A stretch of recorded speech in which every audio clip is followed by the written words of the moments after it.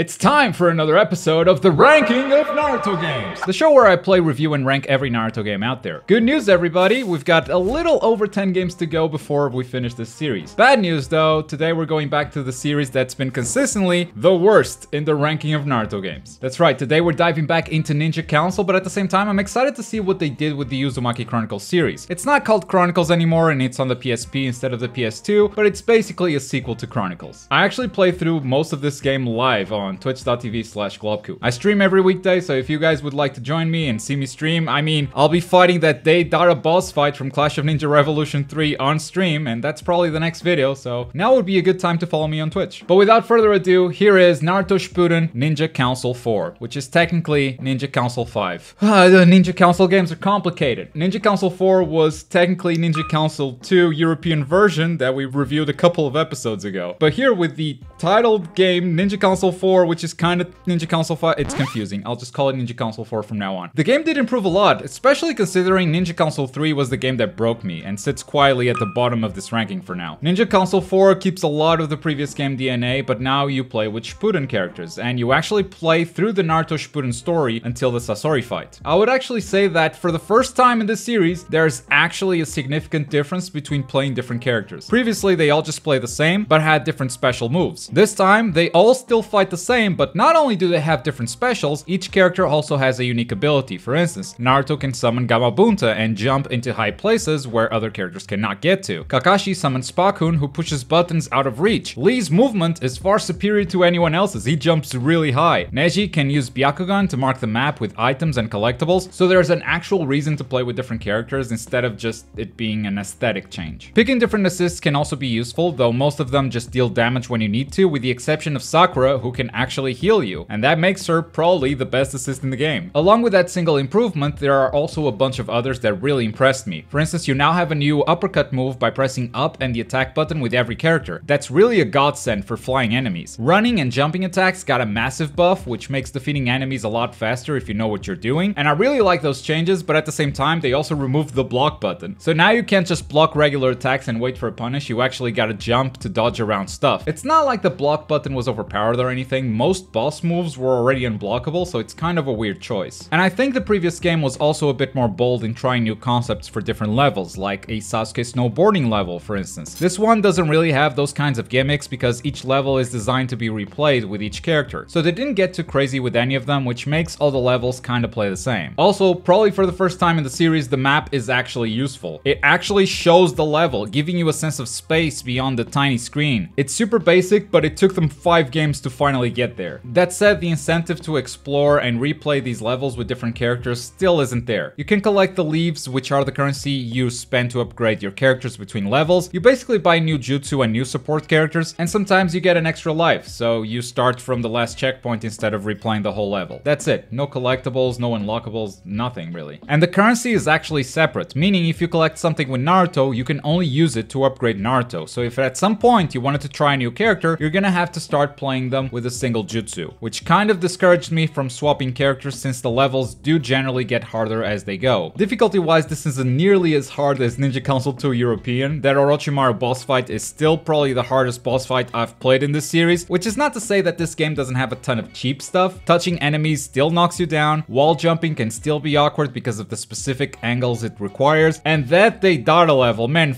that Deidara level. Imagine platforming while explosives are falling from the sky, except the screen is too small to see them coming, so you just randomly get hit all the way back down. Regarding boss fights, there are some unique fights here, but a lot of them are still the same uninteresting one-on-one -on -one fights without a lot of gimmicks. In that regard, I don't think a single Ninja Council game has done it better than the first one. And finally, it wouldn't be a Ninja Council without some really silliness in animation and music. For instance, we got the Kakashi dance that all the kids are talking about. Eh. Mm. Yeah, dance Kakashi. If you're not a fan of that, maybe you'd like to check out the Garashimi. It matches the music and everything. And speaking of music, no track in this game is able to beat the legendary Composition 12 from Ninja Council 2, but there are definitely some gems. Especially the soundtrack from the last level, where it feels like they just threw a bunch of instruments together and started slapping them at random. This is a 20 second loop that plays throughout the entire level. In conclusion, I like all the quality of life changes, the map, the new uppercut, giving characters unique abilities, but I feel like the game also lost some stuff. Namely, those unique levels we had previously, and a lot of unique boss fights just aren't there. It's mostly a one-on-one -on -one battle that you use the same formula to win every time. It's a very similar game to Ninja Council 2 European, though I would say it's slightly worse, so we're gonna place it right below that. It is another D-rank game. We got a lot of those for sure. Let's see if the next game will be better or worse than that. Had to dress up for this one because it is time for Naruto Shippuden colon Legends colon Akatsuki Rising. It's a third-person action game that builds on the foundation of the Uzumaki Chronicles games on PlayStation 2. And since it's now Naruto Shippuden, you could kinda call it a sequel. This time it doesn't tell an original story, it unfortunately does not feature the Master Puppet, it tells the Naruto Shippuden story, from the start until you rescue Gaara, so pretty much the same as Ninja Council 4. Comparing this to Uzumaki Chronicles 2, the game is missing so many features. First of all, there's only one attack button, they removed the strong attack, so combos are much simpler, and that's a shame because I kinda liked the combo system before. It felt like I could get creative, and now it just feels like I mash and do special moves, and in boss fights I'm just exploiting some weakness. That's how you actually beat this game. Exploit the crap out of something and play super cheap. And it all somehow feels much worse than previously. There's a stiffness to the movement and attack animations that just feels wrong. And your enemies move around so much that it can be easy for you to misjudge if an attack is gonna hit or not, because most of them have deceptively short range and your momentum isn't really carried into the attack. So the whole thing feels pretty damn terrible. At the start of any mission, you can pick any character to play that mission, which can also lead to some disconnected moments within the story. For instance, you pick Neji as your character, and then you have this cutscene where Naruto runs into Itachi in the story story and gets trapped in his Genjutsu. You guys remember that? So for Naruto to escape the Genjutsu, it cuts the gameplay and it's Neji fighting. That's a weird way to retell the story. You can also pick two other party members. They won't become assists or anything. They just give you some stat buffs and they take a cut of your XP. Because once again, each character has separate experience points. They all level up separately as you play them, which to me is discouraging. Like I don't want to swap characters if I'm gonna have to level them up all the way from level 1 to whatever level I'm at. I'll just played my highest level character. Otherwise, it's just a grind. And I'm okay with grinding once in a while, but the problem is, the missions, they're all pretty much the same. They are so, so bland. First, you usually walk around these hubs. So, hmm, some Konoha exploration, you go into the sand, you go into the forest. Okay, that seems fun. Around these hubs, you'll find enemies and treasure chests. These chests can include items like shuriken, which are consumables. You can actually run out of thrown weapons. And once in a while, they also include jutsu, which is pretty much the only incentive to exploring these areas. Thing is, the best way to collect jutsu is to find a single treasure chest next to a save point and just farm that same chest over and over until you get the jutsu you want. So really, even though these are semi-open areas, there's really no incentive to explore. And whenever they decide to get more creative with their mission design, somehow they make it worse. Ladies and gentlemen, allow me to introduce you to the worst mission I've ever played in a Naruto game. Retake the tower. There are two towers and the mission tells you that bandits have taken them over. You need to go to both towers and kick their ass. So I head to the north tower, running across the desert desert, and this is not exactly a small walk. I reach the north tower and there's Iruka. He says that the tower is closed, you need to start with the other one. What?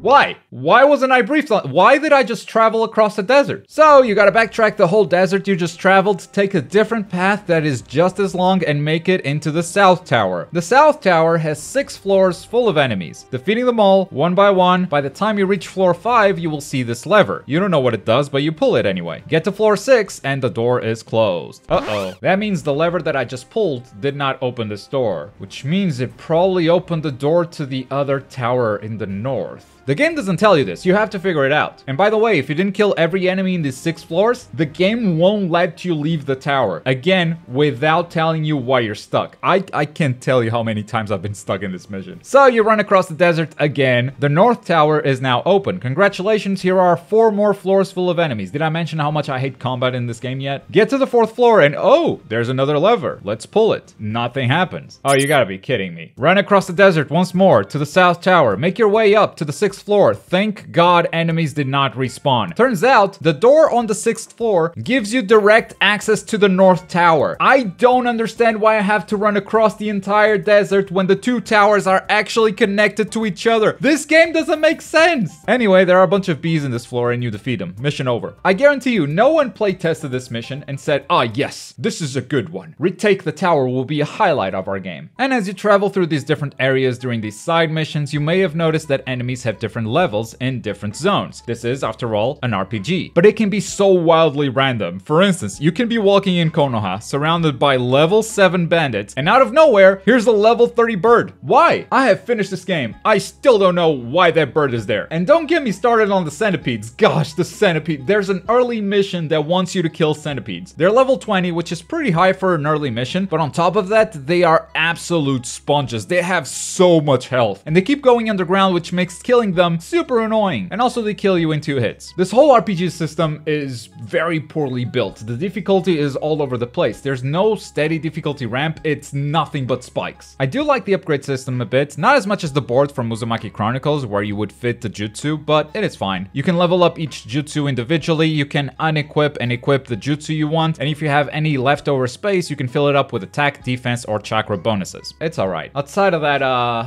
what else is there? Oh, the cutscenes. We've played games on PSP that have looked alright. This one was very ambitious with 3D cutscenes, and they are so poorly animated. I'm talking jump force levels of poor animation. This Shadow Clone Jutsu Rasengan is such a great example. Faces have absolutely zero expression. I don't know what goes through their heads when choosing a soundtrack for most of these cutscenes, like here's the scene where Naruto learns that Gaara is dead after rescuing him from the Akatsuki, and you tell me if you think this is the right song to play during this sad moment.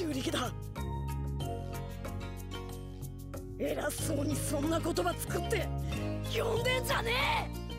Uh-oh, there goes Naruto vibrating again. The best thing I can say about these cutscenes is when they are not telling the main story and you're just doing side missions, the writing is pretty good. It's a bunch of jokes usually centered around Tsunade, and a few of them actually made me laugh out loud. It's very good humor. And all the cutscenes are voice acted as well, which includes the side missions, and in side missions you can still pick any character you want, which means they have actually recorded voices for all playable characters for every mission, and that's definitely praiseworthy. But that's also really all I can praise. It feels like a very complete game. There's a ton of post-game content that you unlock with Akatsuki after the game is done. It feels like a full product, but it's a bad one because what you unlock is more dull missions and this combat just feels bad. So it doesn't matter how much there is because I don't want to play any of it. This won't be a D rank game because it's a bad game. At least it has a lot of content, so we're gonna rank it at the top of E. But geez, this feels like the most low effort game I've ranked so far. Actually, I take that back. Ninja Council 3 is still the most low effort thing I've played in this ranking, but this ain't that much better. So I'm back at ruining your childhood, telling you the games you played when you were a baby were bad, but this wouldn't be the ranking without it. If you want to watch me suffer through these games, give me a follow on Twitch. I'm live every weekday, and let's just say that Deidara boss fight that you've been waiting for is coming soon. And as always, thank you very much for watching. My name's Globku, and I'll see you next time.